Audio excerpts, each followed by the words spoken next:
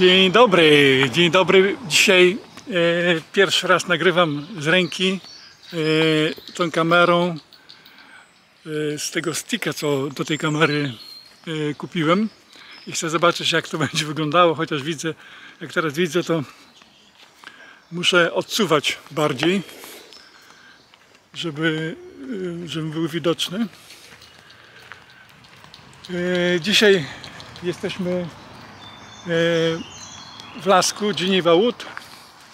To jest tutaj w Darlington na, na rozwidleniu takim torów kolejowych. Tutaj, gdzie nutka uwielbia przychodzić, bo jest mnóstwo kijków. I taki, proszę bardzo, tutaj moja nuteczka tam z tyłu jest. I ona czuje zapachy tych zwierząt, uwielbia to. Dzisiejszy, dzisiaj chciałem poruszyć jeden temat. Ostatnio pojawił się w przestrzeni e, temat Ormusu, Orme. E, I chciałem Wam powiedzieć, jak to wygląda e,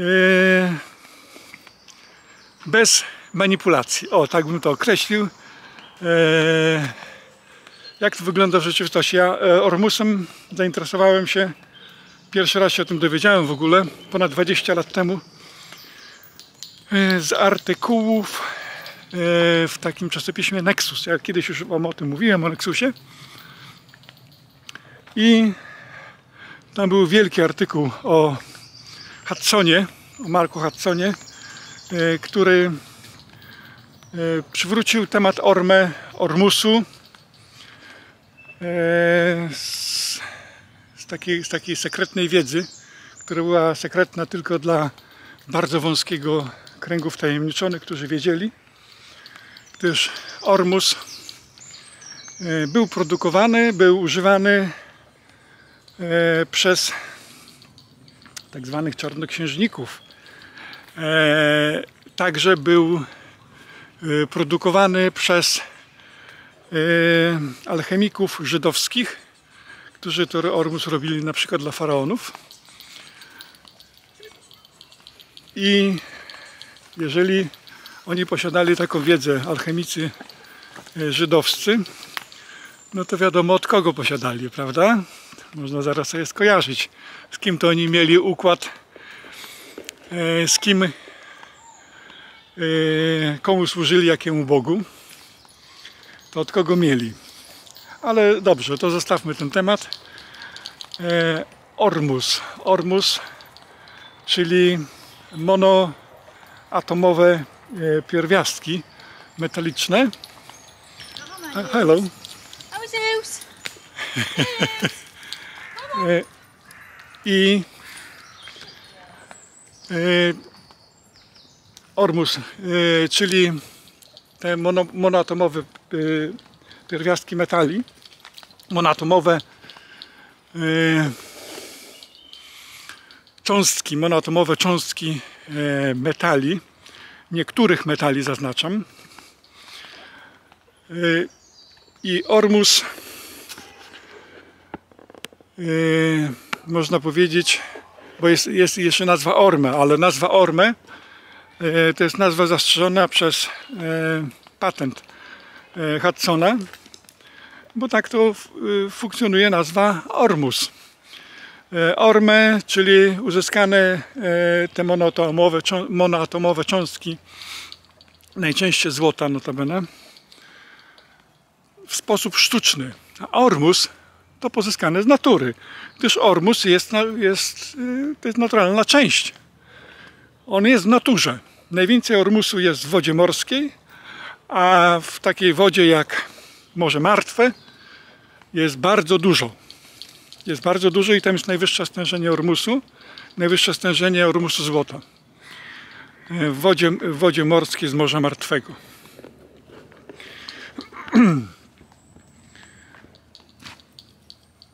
Hudson. Hudson, bardzo ciekawa postać, muszę Wam powiedzieć, który miał dosyć zapisał się w swojej historii, miał dosyć takie e, bujne życie, e, walki, poszukiwaniem e, ormusów. W końcu się okazało, że ormusów, ale od początku nie wiedział, czego szuka.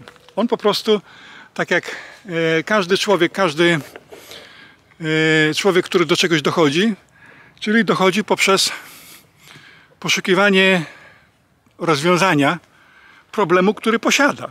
A on miał problem, olbrzymi problem. Jego problemem e, było to, chociaż tak się wydaje, że teoretycznie to nie powinien mieć problemu, to był milioner.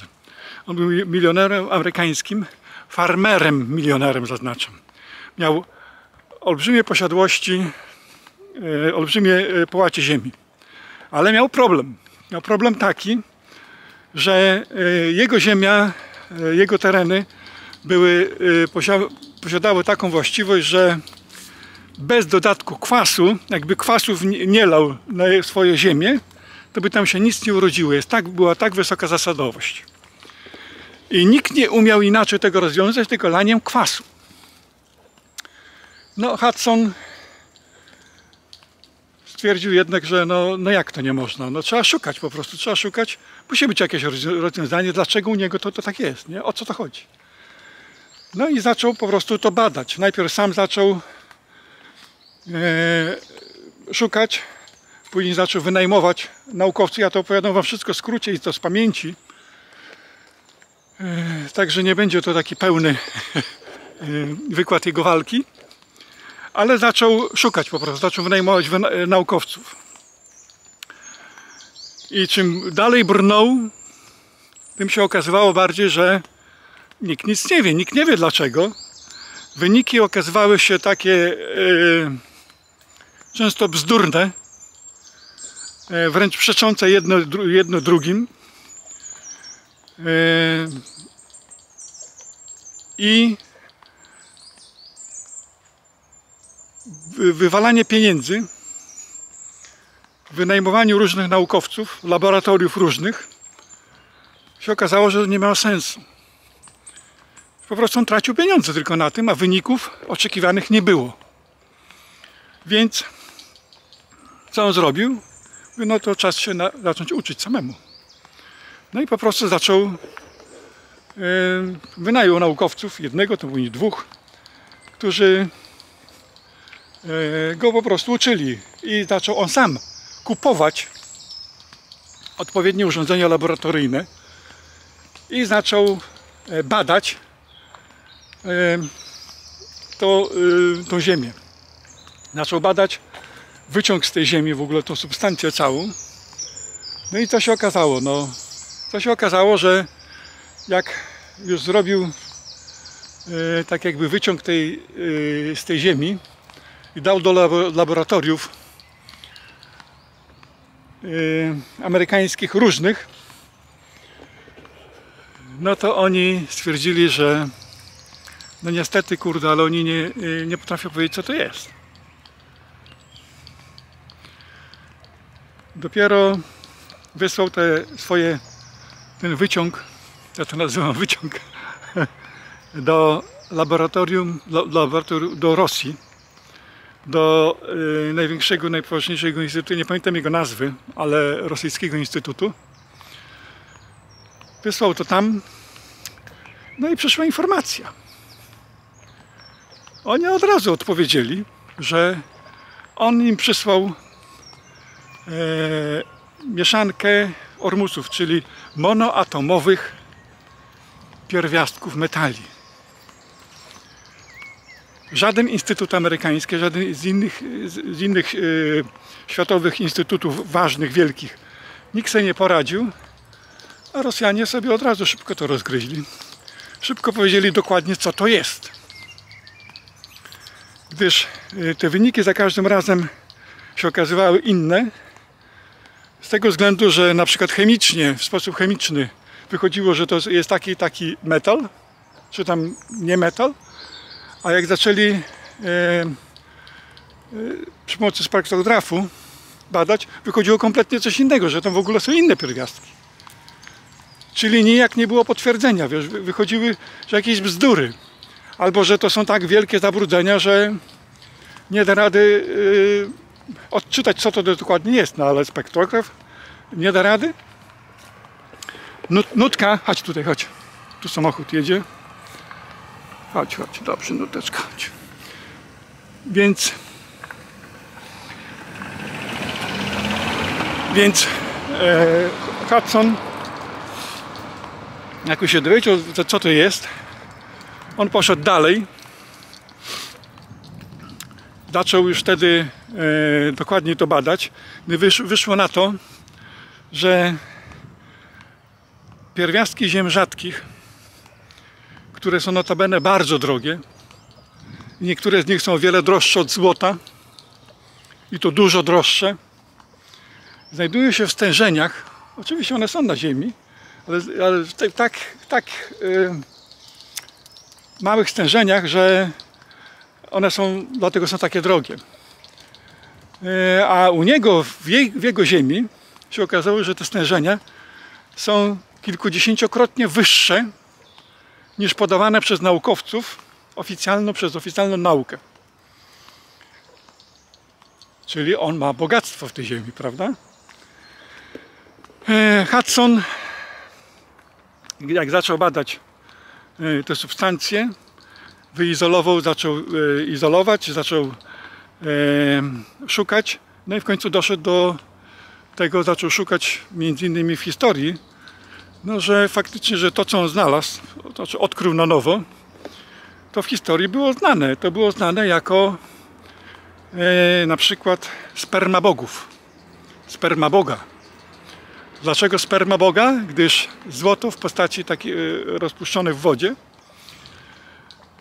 ma, jest taka śliska jak sperma. Ma taką konsystencję spermy. Dlatego to nazywano e, przyjmowanie przyjmowanie ormusu to traktowane było przez alchemików jako komunia z Bogiem, zaślubiny z Bogiem, że to jest takie wielkie i ważne. O co chodzi e, z tymi jeszcze, dlaczego te e, monoatomowe pierwiastki, szczególnie ten jeden monoatomowy, monoatomowe mm, cząstki złota, dlaczego one dlaczego one są tak bardzo poszukiwane i dlaczego wszyscy się tak praktycznie to interesują e, ormusem złota, ormę złota. Dlaczego tu chodzi o jednak o to złoto? Z tego względu, że złoto w postaci monoatomowej tak mniej więcej w połowie, tam jest dokładnie jest trochę inna procentowa, 40, 60, y, 40 do 60%. Ale częściowo jest w sferze duchowej, jest, czyli poza, poza tutaj Ziemią, poza 3D, a tutaj częściowo w Ziemi.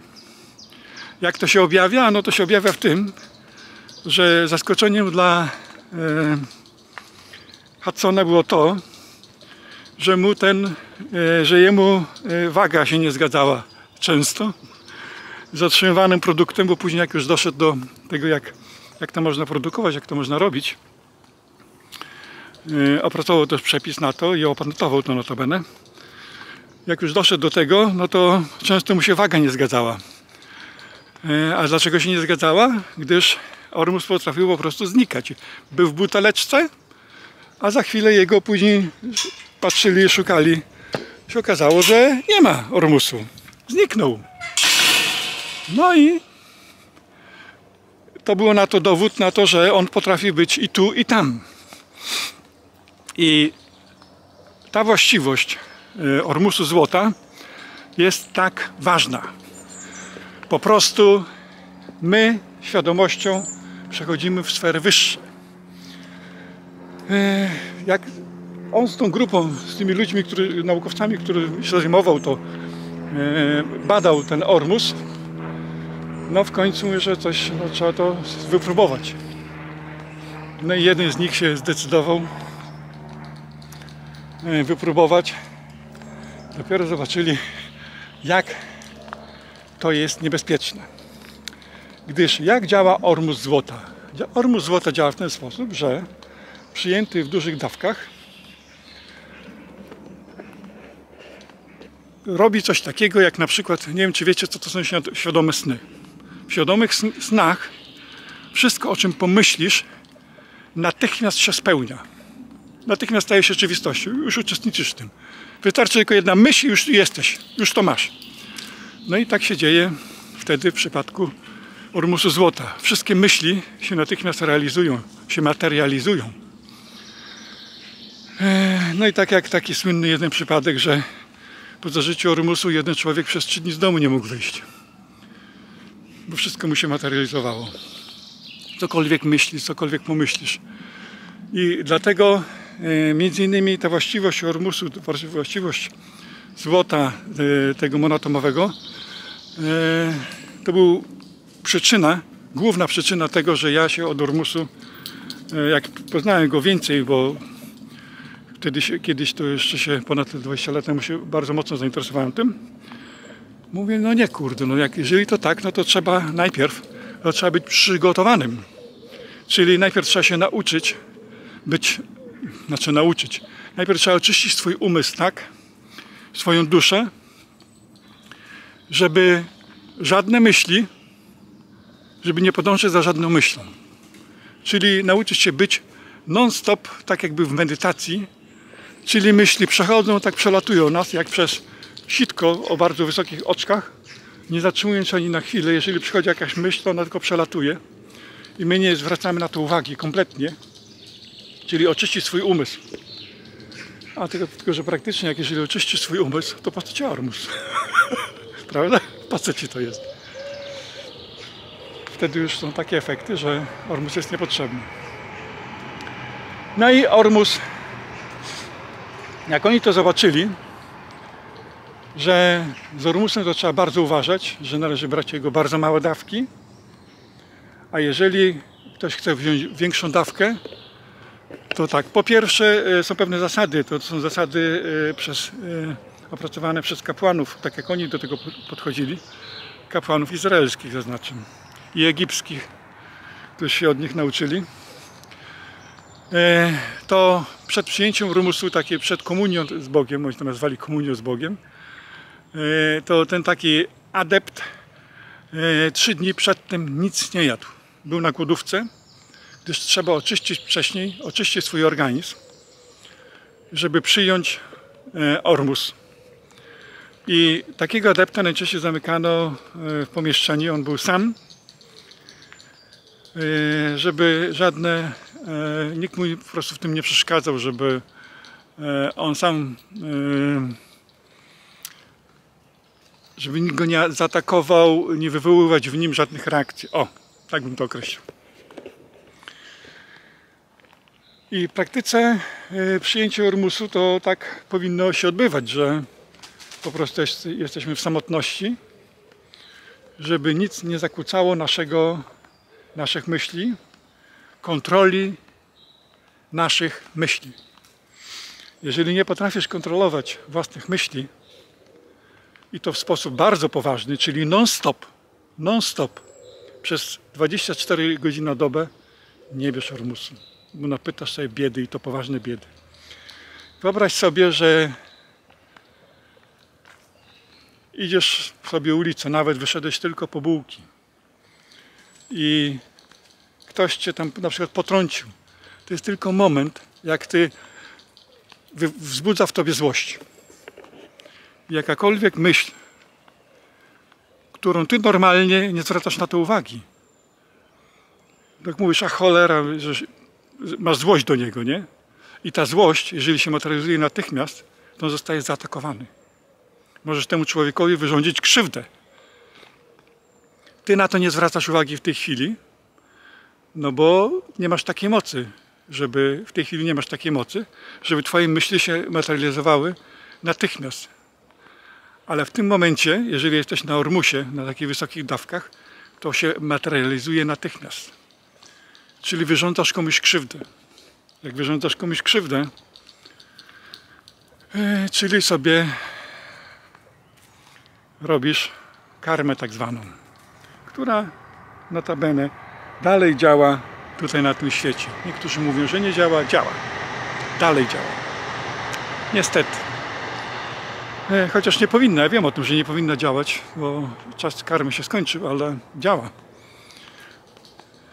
E, wbrew prawu, ale działa. Po drugie, oprócz karmy, to jeszcze jest prawo przyczyny i skutku.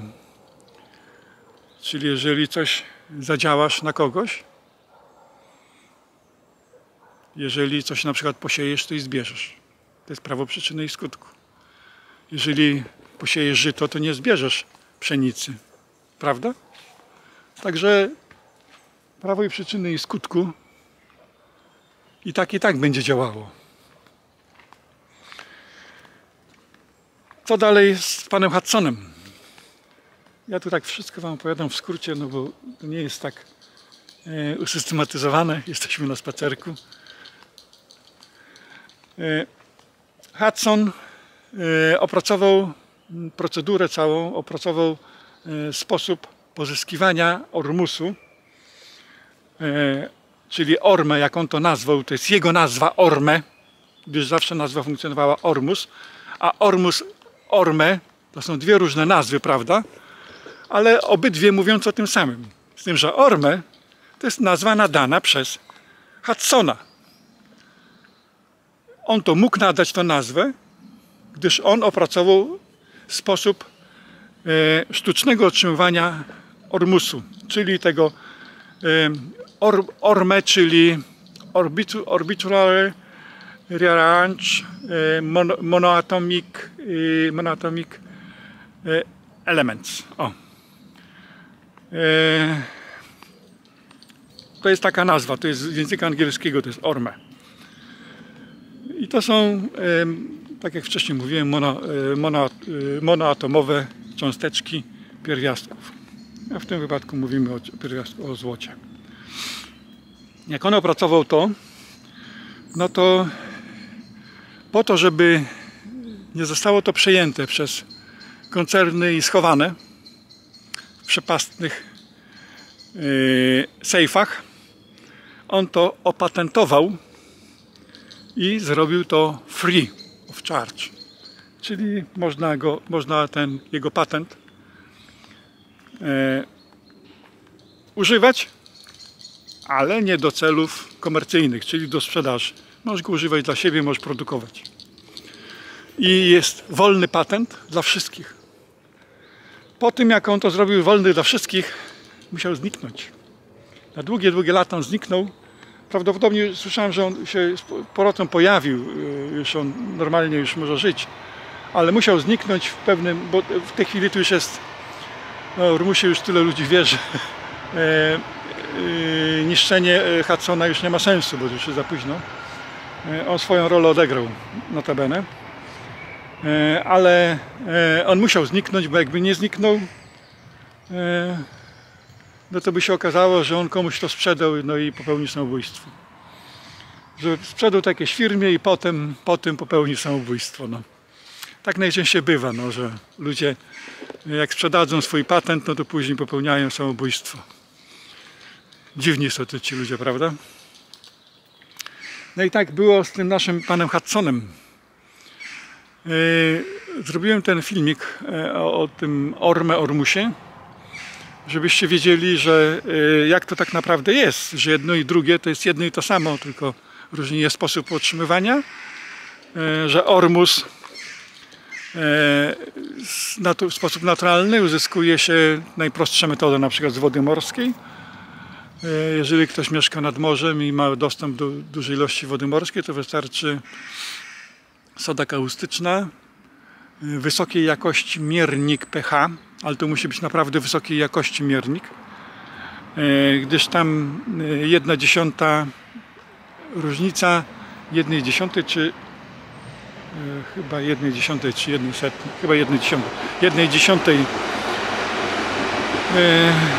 tej jednostki już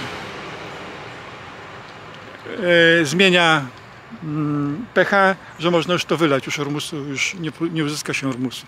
I z powrotem do, na przykład dolewając, e, e, dolewając kwasu, już nic nie da. Już ormusu nie otrzymasz. Ormus się już nie wytrąci. Chodzi o, chodzi o jedną rzecz. Uzyskanie odpowiedniego pH w tej wodzie i wtedy ormus spada na dół i z góry zlewamy to. E, Na dole mamy ormus rozcieńczony i prze- poprzez, poprzez odparowywanie e, uzyskujemy proszek ormusu. A, jeszcze coś do ormusu, jeszcze ormusy, nie? Bo będziecie na przykład proszek or, ormus, nie? Znaczy, w sposób uzyskiwane ormusy w sposób naturalny to oczywiście są w postaci proszku, gdyż tam jest bardzo mało złota, są różne ormusy, jest dużo ich e, z różnych pierwiastków. Tutaj się nutka bawi.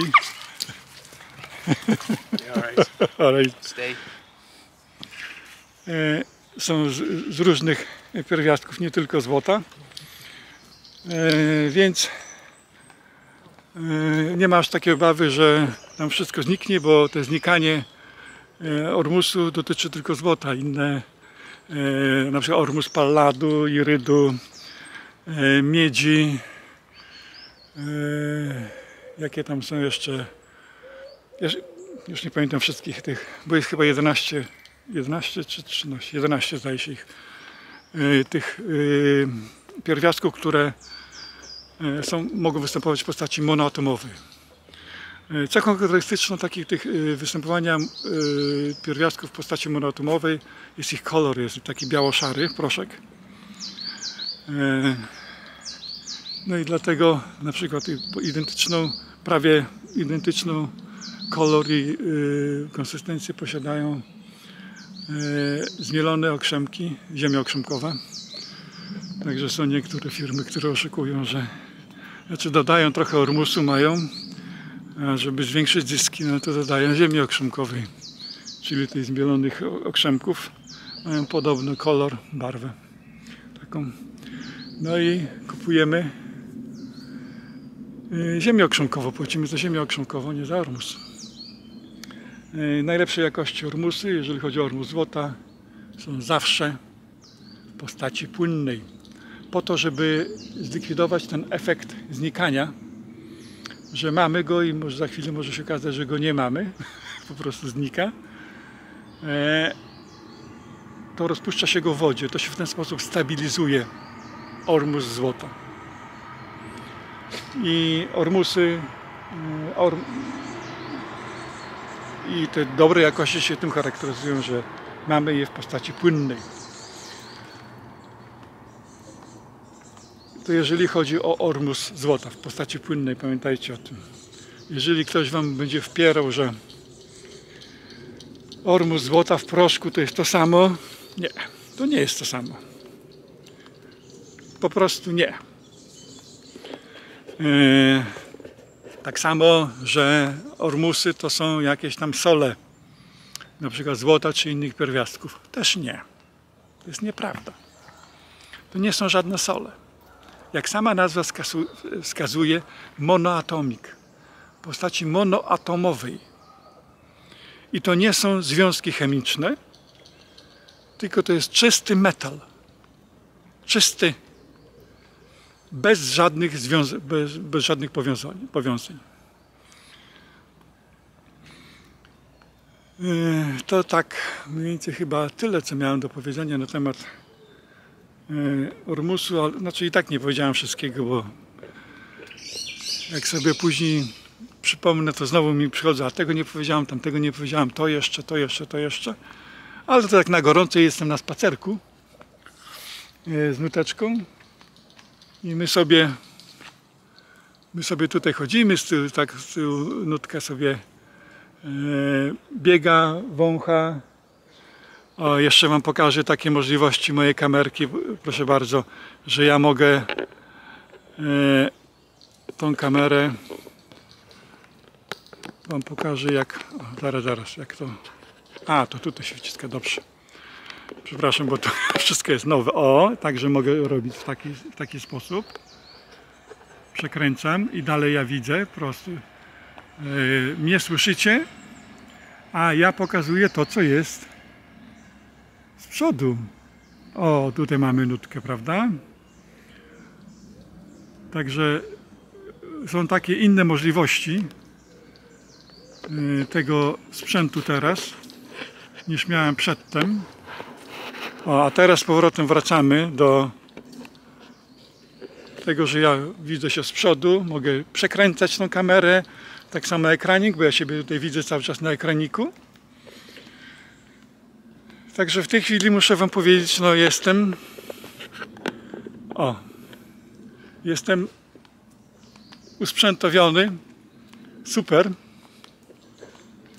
I to wszystko dzięki Wam. Dobrze, dziękuję bardzo. To na razie tyle o Ormusie, chyba że będą jakieś pytania jeszcze na temat Ormusu. E, Nie zapominam o innych tematach też.